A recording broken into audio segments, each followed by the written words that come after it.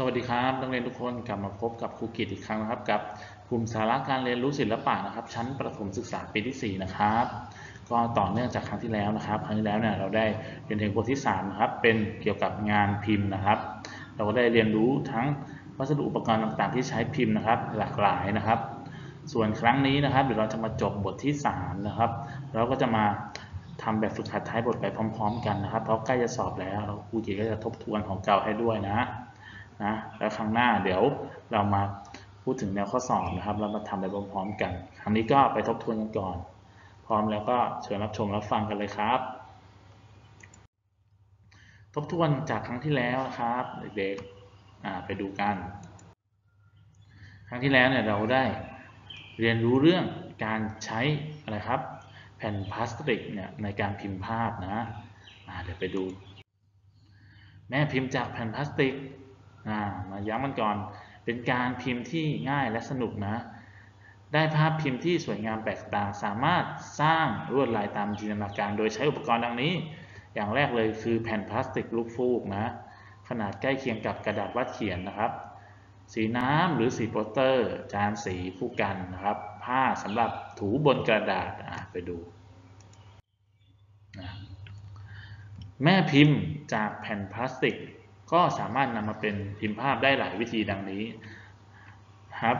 การหยดสีเนี่ยใช้ผู้การหยดนะครับนำกระดาษนะครับ มาพิมพ์โดยค่อยๆ วางบนแผ่นพลาสติกลูกฟูกมีการหยดสีแล้วใช้มือเนี่ยหรือผ้าถูเบาๆบนกระดาษเดี๋ยวไปดูกันจะเป็นอย่างไร นี่ไหมครับ อันนี้ก็เป็นภาพพิมพ์จากการหยดสี ค่อยๆ ยกกระดาษขึ้น ภาพที่ได้จะดูสวยงามแปลกตา ควรหยดสี นะครับหลาย ๆ แบบทั้งวันนะสีอุ่น สีเย็นให้ดูคล้ายรูปร่างต่างๆ แล้วลองพิจารณาผลงานได้นะครับก็เป็นการพัฒนาไม่จำเป็นต้องเป็นในในภาพเราสามารถเนี่ยมีสีอยู่ที่บ้านเราสามารถหยดทดลองเองได้นะครับ เรียนรู้สิ่งแปลกใหม่นะจะได้พัฒนาตัวเองนะครับ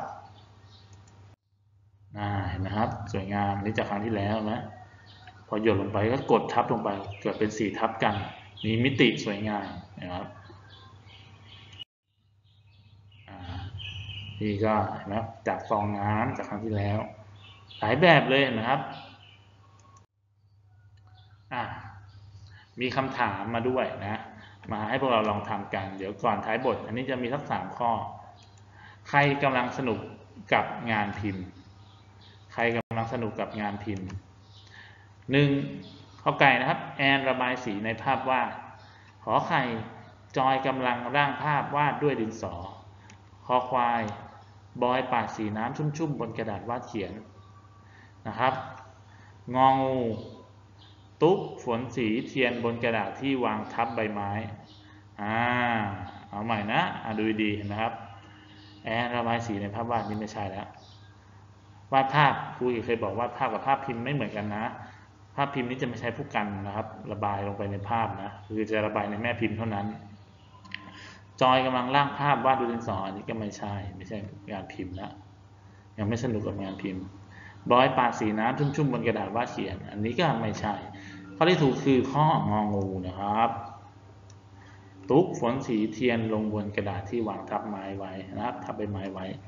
อ่านี่ก็เป็นการฝนจากแม่พิมพ์นะ อ่าข้อหนึ่งข้อใดเป็นแม่พิมพ์ที่มนุษย์สร้างขึ้น อันนี้มาให้พวกเราได้คิดกันมาลองทำกันนะครับขอไก่ใบไม้ ขอไข่อะไรครับ ดอกไม้ขอควาย อันนี้ก็เป็นฝาจุกจุกฝาขวดนะครับงองงูนะครับ อันนี้น่าเป็นนะครับหัวใช้เท้าที่หั่นแล้ว คราวนี้ตอบข้อคอควายนะครับอ่าอันนี้ดูชัดเจนเลยอันนี้ไม่ใช่ธรรมชาติสร้างแน่นอนนะมนุษย์สร้างขึ้นมาแต่ไว้ปิดฝาขวด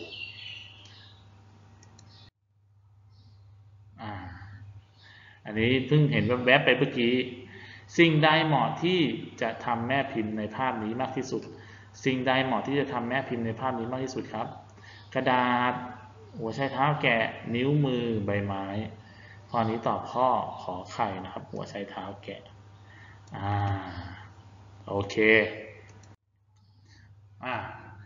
เมื่อกี้เราก็ได้เป็นเขาเรียกว่าได้ลองทำไปนะครับสำหรับ นะครูเอามาให้ลองคิดลองทำดูนะครับ จะได้จำได้จะได้ทวนทวนๆเดี๋ยวมีท้ายบทอีกนะ แล้วก็มีแนวข้อสอบอีกอะยังอยู่ในหน่วยการเรียนรู้ที่สามนะครับ สนุกกับงานพิมพ์นะอืมคราวนี้นะครับจะเป็นการพิมพ์ภาพจากการนะครับขูดสีนะอะพวกเรามาดู ขั้นตอนการพิมพ์ภาพนะครับ เริ่มจาก ใช้ผู้การจุ่มสีข้นๆนะ ระบายบนแผ่นพลาสติกลูกฟูก แล้วใช้ปอกปากกาเนี่ยหรือด้ามผู้การเนี่ยขูดสีเบาๆนะ ให้เป็นรูปลายเส้นตามจินตนาการนะ การขูดสีเนี่ยต้องทำอย่างรวดเร็วนะนะครับ ก่อนที่สีจะแห้งนะ จากนั้นเนี่ยวางกระดาษลงบนสีที่ขูดเป็นภาพนะครับ แล้วใช้มือลูบกระดาษเบาๆ นะครับ ให้ทั่วทั้งแผ่นเมื่อยกกระดาษขึ้นมาเนี่ยก็จะเกิดภาพพิมพ์นะ อันสวยงามปรากฏอยู่ในภาพนะครับนี่เห็นไหมอันนี้คือวิธีนะวิธีของเขาคือการลงเลยครับ ลงลงสีไปก่อน ลงสีที่เราจะขูดนะ ไม่ว่าจะเป็นสีอะไรก็ตามลงมันมีสองขั้นตอนใช่ไหมมีสามขั้นตอนลงสีพื้นข้างล่างไปก่อน แล้วมาลงสีดำทับ พอลงสีดำทับเสร็จอะพวกเราดูนะครับ นี่แล้วเราก็มาขูดเห็นไหมเราก็จะเห็นสีที่อยู่ข้างในอ่าต่างๆมากมายสวยงามเดี๋ยวที่ครูกินมีภาพตัวอย่างนะสวยมากเลยดู นี่เห็นไหมครับแม่พิมพ์จากการขูดเห็นไหมสวย นี่เห็นไหมครับ พวกเราเองก็สามารถลองทำได้นะ จากการขูดสีนะคือลงพื้นนะพื้นหลังไปก่อนแล้วลงสีดำแล้วคราวนี้เรามาขูดนะครับ มาวาดก็จะกลายเป็นนะครับ ภาพที่งดงามเลยทีเดียวเห็นไหมครับนี่เห็นไหมมีตัวอย่างให้ดูเราอยากได้สีอะไรเราก็ลงพื้นหลังเลยนะ ผสมสีกันหลายๆสีแล้วมาขูดเอานะครับอ่า ก็จบลงไปแล้วนะครับสำหรับบทที่ 3 นะ เดี๋ยวเราจะมาทำแบบฝึกหัดแล้วจะมาสรุปนะ สรุปผังสรุปสาระสำคัญให้นักเรียนฟังนะ คือหลักๆเลยคือสนุกงานสนุกกับงานพิมพ์เนี่ยจะมีการพิมพ์ภาพ แม่พิมพ์ธรรมชาติ แม่พิมพ์จากแผ่นพลาสติก และแม่พิมพ์จากการแกะสลักมีอยู่ 4 อย่างด้วยกันนะนะการพิมพ์ภาพก็คือการประทับรอยของแม่พิมพ์นะลงบนพื้นที่ราบนะครับ แม่พิมพ์ธรรมชาติคือพวกใบไม้ดอกไม้ก้านกล้วยนะครับ และแม่พิมพ์จากการแกะสลักคือการใช้วัสดุเนื้ออ่อนมาแกะสลักเป็นแม่พิมพ์ ส่วนแม่พิมพ์จากแผ่นพลาสติกคือนำสีมาหยดบนแผ่นพลาสติก แล้วนำกระดาษมาพิมพ์ภาพนะครับ อันนี้ก็เป็นสรุปนะโอเค เดี๋ยวเราจะไปดูแบบฝึกหัดกันนะท้ายบทนะครับ เราจะทำไปพร้อมๆกับครูกิจนะ แล้วก็เดี๋ยวครั้งหน้าเนี่ยเราจะมาทวนอีกนะครับ ไปครับให้นักเรียนนะหยิบหนังสือเล่มนี้ขึ้นมา ทัศนศิลป์เรื่องเล็กนะครับ เล่มเล็กนะป .4 นะ เปิดไปหน้าที่ 24 นะทำไปพร้อมๆกับครูกิจนะครับนักเรียนเปิดไปหน้าที่ 24 นะครับ เดี๋ยวมาทำไปพร้อมๆกับครูกิจนะ นะครับ ข้อ 1 นะครับ ข้อ 1 ภาพนี้เกิดจากแม่พิมพ์ในข้อใด ภาพนี้เกิดจากแม่พิมพ์ในข้อใด ข้อ 1 ยังลบ ข้อ 2 นิ้วมือ ข้อ 3 เปลือกหอย ข้อ 4 ฝาขวด ข้อนี้ตอบเลยครับเห็นไหมครับ เห็นแม่พิมพ์ไหมสีแดงๆไหมคล้ายๆกับนิ้วมือนะครับ ข้อนี้ตอบข้อ 2 นะครับ ส่วนข้อ 2 ใครกำลังสนุกกับงานพิมพ์ ใครกำลังสนุกกับงานพิมพ์ครับ 1. โดมระบายสีในภาพวาด 2. แดนกำลังร่างภาพด้วยดินสอนะครับ 3. นิ้วกดก้านกล้วยที่มีสีลงบนกระดาษ 4. เวียใช้สีเทียนเขียนชื่อบนกระดาษนะครับ ข้อนี้ตอบอะไรครับ ข้อนี้ตอบข้อ 3 นะครับ นิ้วกดก้านกล้วยที่มีสีลงบนกระดาษนะเพราะการกดเนี่ยคือการพิมพ์นะครับ ข้อ 3 ข้อใดเป็นผลงานที่เกิดจากแม่พิมพ์ธรรมชาติ ข้อใดเป็นผลงานที่เกิดจากแม่พิมพ์ธรรมชาติ ข้อ1นะครับแครอทข้อ2นะครับปลาเห็นไหมข้อ3หนอนหนอนเลย ข้อ 4 กระดาษ ข้อนี้ตอบข้อ 3 นะครับแม่พิมพ์ธรรมชาตินะ ระวังโดน หลอกโดนภาพหลอกนะเพราะว่าเขาบอกว่าข้อใดเป็นผลงานครับแสดงว่าเป็นผลงานมาแล้วนะ ไม่ใช่วัสดุอุปกรณ์นะเป็นผลงานก็คือเป็นผลงานที่พิมพ์มาแล้วนนี้ใช้นิ้วมือพิมพ์เห็นไหมนะครับ เป็นตุ๊ตัวหนอน ข้อ 4 ข้อใดถูกต้องเกี่ยวกับภาพพิมพ์ภาพนะครับ ข้อใดถูกต้องเกี่ยวกับการพิมพ์ภาพพิมพ์ภาพนะครับ ข้อ1ต้องมีภาพตัวอย่างเสมอ ข้อ 2 ต้องใช้สีโปสเตอร์เสมอ ข้อ 3 ต้องมีแม่พิมพ์เสมอ และข้อ 4 ต้องใช้ปากกาตัดเส้นเสมอนะครับ ตอบข้ออะไรครับ ตอบข้อข้อ3นะครับต้องมีแม่พิมพ์เสมอ การพิมพ์ภาพต้องมีแม่พิมพ์นะครับอย่างที่ครูกิจบอกไม่ใช่การวาดนะ การพิมพ์นะเดี๋ยวไปดูข้อ5อ่าข้อ 5 นะครับ ข้อใดเป็นแม่พิมพ์ธรรมชาติ ข้อใดเป็นแม่พิมพ์ธรรมชาตินะ ข้อ1กระดาษ ข้อ2ใบไม้ ข้อ3ฟองน้ำข้อ4เชือกนะครับแน่นอนครับอะไรที่ไม่ใช่มนุษย์สร้างเป็นใบไม้นะครับ ข้อ5ต่อข้อ2ส่วนข้อ6ภาพนี้เกิดจากแม่พิมพ์ในข้อใด ภาพนี้เกิดจากแม่พิมพ์ในข้อใดครับ ข้อ 1 ใบไม้ ข้อ 2 นิ้วมือ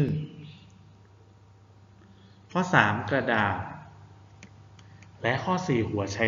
หัวใช้เท้าแกะครับ ข้อนี้ตอบอ่าเป็นหัวใช้เท้านะครับ แกะเป็นรูปปลาเห็นไหมข้อ 6 ตอบข้อ 4 นะข้อ 7 นะครับ ข้อใดเกี่ยวข้องกับการพิมพ์นะครับ ข้อใดเกี่ยวข้องกับภาพพิมพ์ที่ปรากฏนะข้อ 1 กิ่งไม้ ข้อ 2 ใบไม้ ข้อ 3 ดอกไม้ ข้อ 4 เปลือกไม้อ่าข้อนี้ไม่ยากนะดูนะเป็นอะไรครับ เป็นใบไม้ภาพพิมพ์จากใบไม้นะดูจากร่องรอยดูจากรูปร่างแล้วนะครับ ข้อ 8 ข้อใดควรปฏิบัติ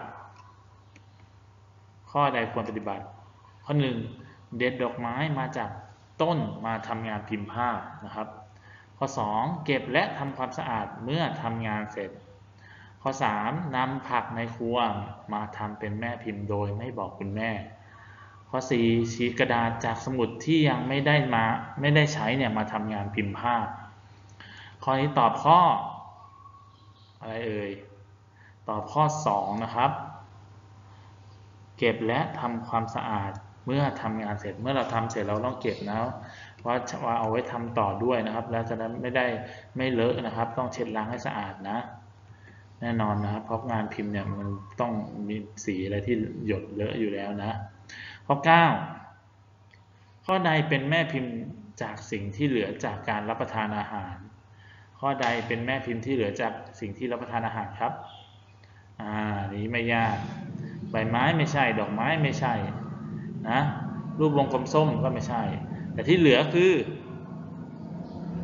หอยนะครับ เปลือกหอยแครงนี่เองข้อ10นะครับ ข้อใดไม่ใช่ประโยชน์จากการสร้างงานพิมพ์ ข้อใดไม่ใช่ประโยชน์จากการสร้างงานพิมพ์ ข้อ1พิมพ์ซ้ำได้หลายครั้ง ข้อ2ทำให้รู้สึกสนุกตื่นเต้น นะครับข้อ 3ทำให้วาดภาพระบายสีได้คล่องนะข้อ 4ทำให้เกิดภาพที่สวยงามแปลกตาอ่าข้อ 10 นี้ตอบข้อ 3 นะ อันนี้ไม่เกี่ยวกันนะครับทำให้วาดภาพระบายสีได้คล่องนะอ่าเพราะอย่างที่ครูกิตบอกว่า แยกให้ออกครับภาพวาดกับงานพิมพ์เนี่ยไม่เหมือนกันนะครับงานพิมพ์เนี่ยก็คือเป็นการกดการทับนะ ไม่สามารถเอาผู้กันไปวาดที่พิมพ์แล้วได้นะแต่การแต่การใช้ผู้กันเนี่ยไประบายสีใบไม้อะไรเนี่ยแล้วเอาไปทับอะได้นะครับอ่าโอเคก็จบลงไปแล้วนะครับสำหรับนะครับ ท้ายบทของบทที่3นะครับ สนุกกับงานพิมพ์นะ ก็อย่าลืมกลับไปทบทวนนะครับ แล้วก็เดี๋ยวครั้งหน้าเนี่ยเราจะมาทบทวนนะมาบอกแนวข้อสอบแล้วก็มาทำไปพร้อมๆกันนะ มาบอกถึงสาระสำคัญนะอ่า หมดเวลาแล้วนะครับ สุดท้ายนี้ครูกิจก็ขอให้พวกเราเนี่ยโชคดีนะครับ ดูแลสุขภาพตัวเองด้วยนะ แล้วก็มาพบกับครูกิจใหม่ในสัปดาห์หน้านะครับ สู้ๆนะครับ สวัสดีครับ